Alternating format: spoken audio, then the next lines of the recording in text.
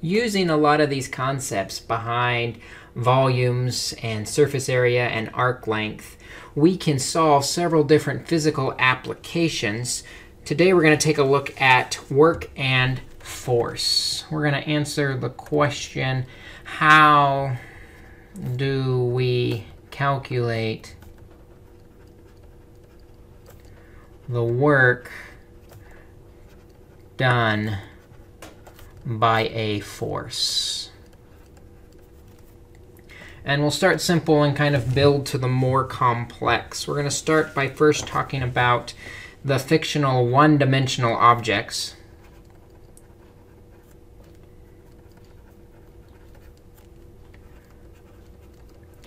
And how we can calculate the mass of this one-dimensional object. How much stuff is stuffed into this one-dimensional object.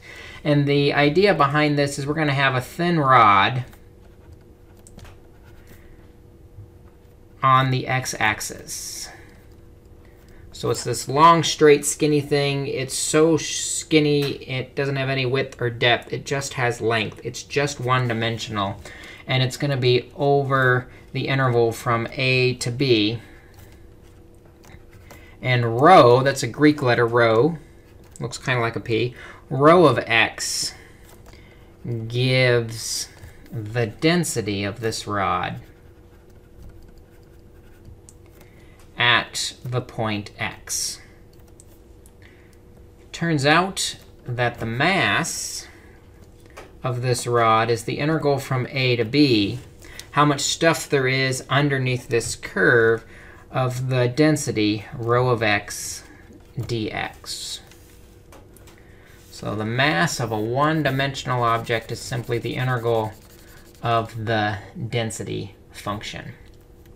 So for example, if I have a rod over the interval from 1 to 3, where the density is given by rho of x equals 2x squared plus 3. If I wanted to calculate the mass of this guy, we would simply need to integrate over the distance from 1 to 3 of that density function 2x squared plus 3 dx. We should be really good at this. We end up integrating, we get x cubed, 2x cubed over 3 plus 3x integrated from 1 to 3. Plugging in our limits of integration, 3 cubed is 27. 27 divided by 3 is 9 times 2 is 18. Plus 3 times 3 is 9. Minus, plugging 1 in, we get 2 thirds minus 3 if we run that through our calculator, we'll get 70 thirds for the total mass of this function. Now, one-dimensional uh, objects aren't real, but they can give us an idea how the more complex two-dimensional functions work. We're going to work with two-dimensional circular objects or disks. Kind of like a CD, if you remember those.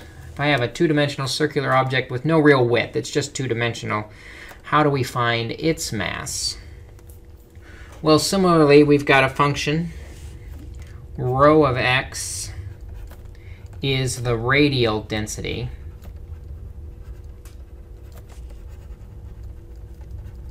of the disk. The density of that radius with radius r.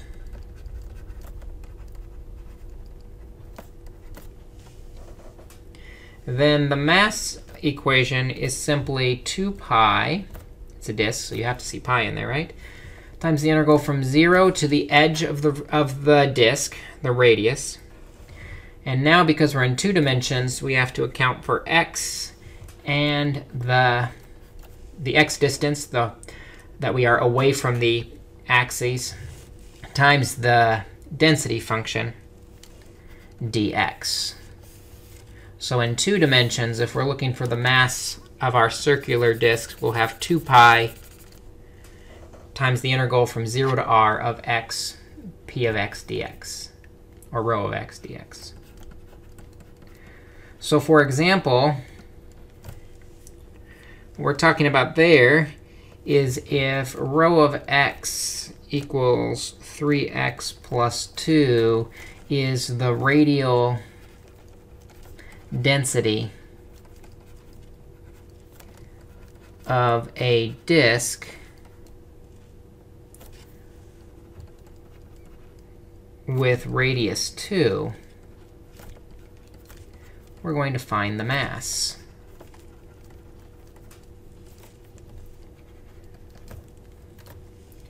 Well, using our equation, mass is just 2 pi times the integral from 0 to the radius, 0 to 2, times x times our rho equation of 3x plus 2 dx. Or if we distribute that x through, we're really taking the integral of 3x squared plus 2x. So that's going to be x cubed plus x squared Oops, don't lose the 2 pi out front, though. 2 pi times x cubed plus x squared integrated from 0 to 2. Plugging those limits of integration in, plugging 2 in, we get 8 plus 4. Plugging 0 in, we get 0. And that's 12 times 2, or 24 pi for the mass of this two-dimensional disk. Let's extend then to another application, and that is the work that is done by a spring. The work done to stretch or compress a string, a spring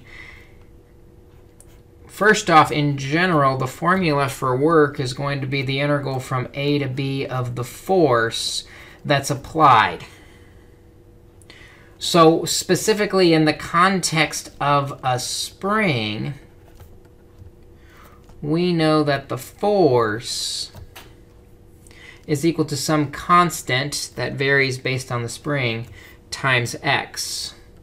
So that means work for the spring is going to be the integral from a to b of kx dx. Now, a couple notes on springs. We must be in feet and pounds or joules and meters, depending on which units we're in. If we're not in the correct units, you do have to switch the units. Also, A and B are the length of the stretch. Not the length of the spring, but how far the spring is being stretched.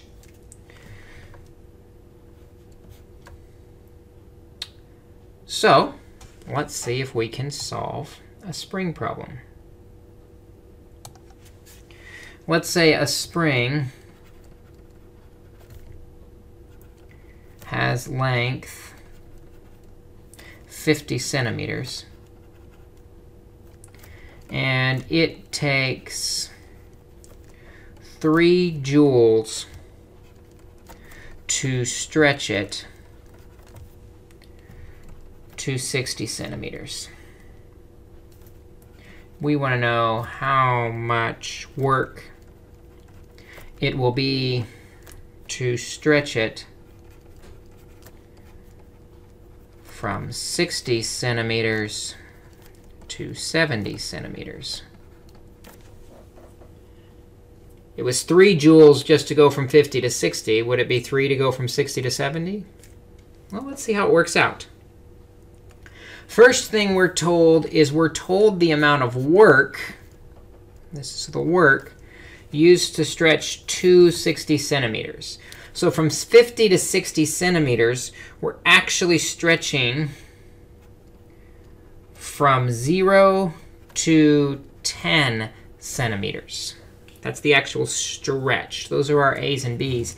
But the problem is those are in centimeters. So when we change those to meters, we divide by 100 from 0 to 0.1 meters. So our work is the integral from 0 to 0.1 kx dx. Evaluating this, keeping k as a constant, we end up saying that the work is k over 2 times x squared integrated from 0 to 0.1, or 0.1 squared times k over 2, or 0.005k.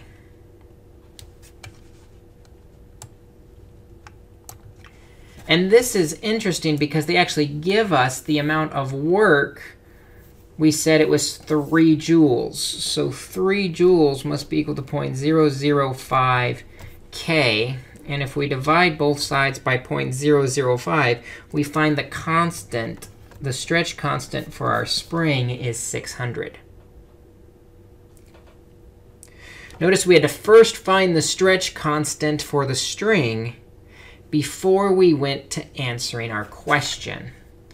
Question wants to know how much work it's going to take to stretch it from 60 centimeters to 70 centimeters. Well, actually, from 60 to 70, 60 already is an increase of 10 centimeters. To 70 is an increase of 20 centimeters. But we need to change that to meters. So from 0.1 to 0.2 meters. So we're integrating from 0.1 to 0.2 times our constant, which is 600 x dx. And now this is the integral we need to solve. x squared divided by 2 leaves us with 300x squared integrated from 0.1 to 0.2. So we have 300 times 0.2 squared minus 0.1 squared.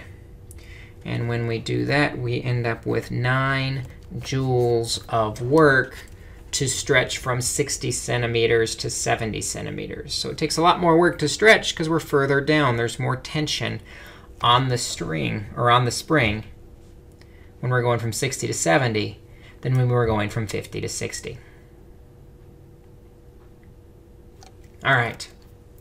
Now we're ready to get to the real good problems, and that is the talking about the force of water. And to set this up, first, in general, force can be calculated as the density of what's pushing against it times the distance it has to travel times the volume of what we're taking the density of.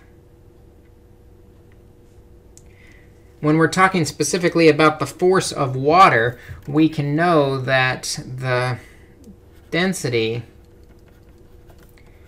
of water is equal to either 9,800 newtons per cubic meter, or 62.4 pounds per cubic foot, depending on if we're in the metric or SI units.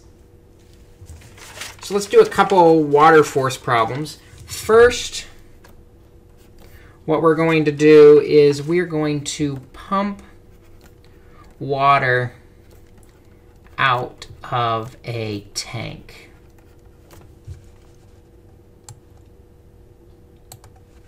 Let's say we've got a cylindrical tank. And it has a radius of 3 feet. It is 10 feet tall. The water itself is not full to the brim. The water is 2 feet down from the top.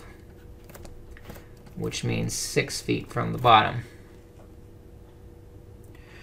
What we need to do is take all this water and we're going to pump it up and out of the cylindrical shell. We want this cylinder, cylinder to be completely empty.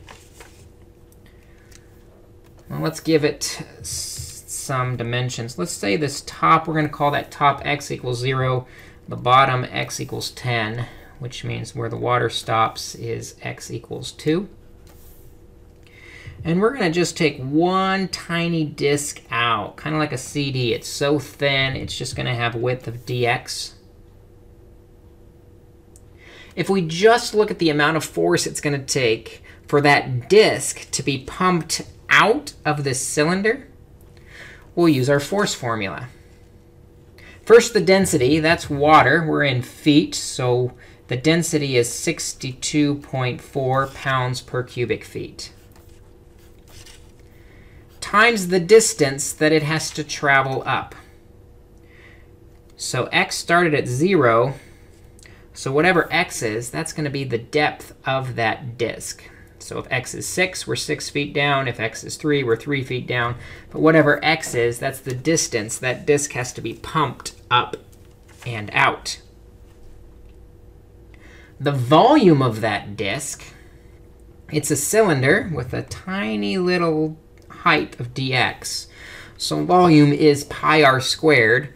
Pi times the radius of 3 squared times the height of dx. Well, simplifying a bit, 3 squared is 9. And 9 times 62.4 is going to be 561.6 pi times x. That's what's required to pull out that disk out of the water, to pump it out of the tank.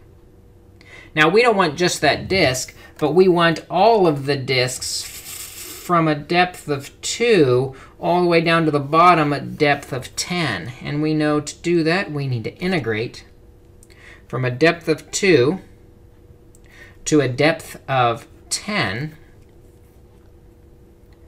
our expression. Let's pull the constant out, 561.6 pi times x dx. So we have 561.6 pi times x squared divided by 2, integrated from 2 to 10, which is equal to 561.6 pi times 10 squared is 100, divided by 2 is 50 minus 2. And this we just have to plug into our calculator. And when we do, we get a total work done of 2, 6, 9, 5, 6.8 pi. So about 26,000 pi, almost 27,000 pi foot-pounds. Let's take a look at another example using water. This time what we're going to do is we're going to look at the force against a dam.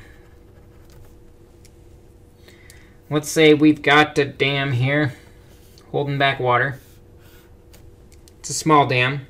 It's 10 feet long and only 5 feet tall.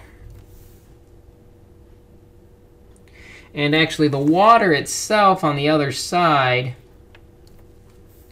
is starts one foot down. So there's only actually four feet of water pushing against this dam. We want to know how much force is actually being pushed against this dam. Now, we remember we've got this equation that the force is equal to the density times the distance times the volume. So if we take a sliver, like we did before, a really skinny sliver of width dx, for our density, we're still talking about water, and water has a pressure of 62.4. The distance that we have to travel if x is 0 at the top, we're one foot down. So we're off by 1. We lose 1 foot of water at the top. So it's not just going to be x. But we need to subtract off the 1 foot of the dam that's not actually putting any pressure on the wall. So we'll call it x minus 1. And then we multiply by the volume of this uh, strip that we cut. Well, this strip we cut has a distance, a length of 10, and a width of dx. And it only pushes on two dimensions, only on that rectangle. So we don't have to multiply by anything else, just 10 times the dx. And so when we simplify this, we end up with 624 times x minus 1 dx. That is the force against that little tiny strip. Of course, we want all the strips from 1 foot down to 5 feet down. So to get that, we'll take the integral from 1 to 5, pull the constant out, 624 times x minus 1 dx or 624 times x squared over 2 minus x integrated from 1 to 5,